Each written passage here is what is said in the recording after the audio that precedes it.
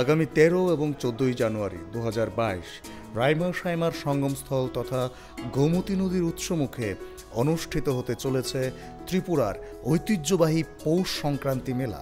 পুণ্যভূমি ডুম্বুরের তীর্থমুখের মেলায় এবারও থাকছে দুদিনব্যাপী সাংস্কৃতিক অনুষ্ঠান। তাছাড়া পর্যটক ও আগত দেশ বিদেশের পুণ্যার্থীদের বিনোদনের লক্ষ্যে নব কলেবরে সেজে উঠেছে নারিকেল কুঞ্জ। ডুম্বুরের নীল জল, সবুজ বন আর ডুম্বুরবাসীদের সরল মন।